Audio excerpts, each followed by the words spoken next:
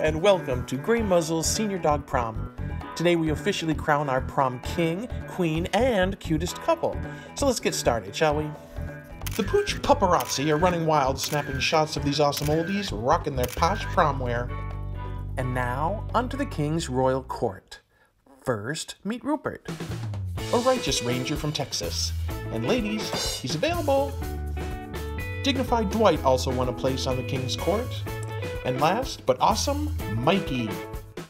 And now, it's my honor to introduce our prom king, the terrific Trey. Congratulations to triumphant Trey, who had to wait over 500 days before finally finding his forever family. Okay, next, let's meet our royal runners up for prom queen. Check out our first princess, beautiful Brownie. And by the way, this classy brunette received vet care through a Grey Muzzle grant. Bless you, everyone.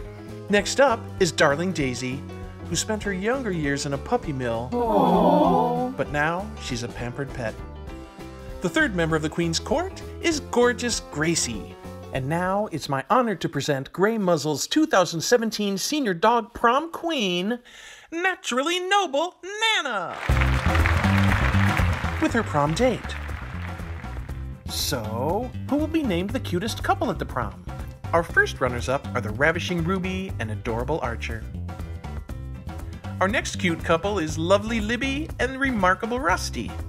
And now, meet magnificent Misty and jubilant Jaxie. what a courtly crowd of cuddly canines. But who will be crowned our cutest couple? Put your paws together for lovely Lady and joyful Jed. Aw, yeah. Lady and Jed met and fell in love at Mainline Animal Rescue. Our cutest couple hopes to find a home where they can be happy together. Maybe with you? Please. Please. Thank you for joining us today, and a special thanks to all of you who open your hearts and homes to senior dogs like us. Before we go, let me just remind my prom date, darling, save the last dance for me. And that's why I fell for the leader of the pack. Darling, share the love and share this video. You're beautiful.